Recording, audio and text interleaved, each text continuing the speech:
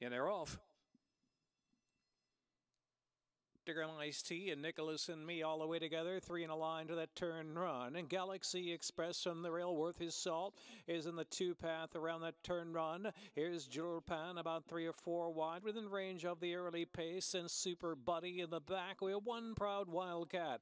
Nicholas and me, seven eighths to go, setting that tempo, eager to go. But now Nicholas and me, Rosario Montanez takes a good hold, and Nicholas and me wants to go a little quicker than that. DeGrom is second on the inside. Nicholas and me just off the rail. DeGrom's got a bit of room on the inside to try to prompt, but only mild pressure. Worth his salt is in third. Ice T travels fourth, and Jorpan is in fifth. And Super Buddy Galaxy Express. One proud Wildcat is ace, and ten off that pace. Heading off at the far turn with four and one half furlongs to go. Nicholas and me is a bit more settled up front. Leads Worth his salt by a couple of lengths. Then DeGrom on the inside in third. Ice T is in fourth as they head around that turn. Another three lengths back, and it's Super Buddy, then Galaxy Express is next, and Julpan is dropping back, and one proud Wildcat. Three ace to go. Nicholas and me, but DeGrom on the outside, meaning business now, and here's DeGrom. DeGrom, Nicholas and me, they get away by three lengths from Worth his salt with two and a half furlongs left. Ice T is in fourth from in between horses. One proud Wildcat driven along in fifth, top of the stretch.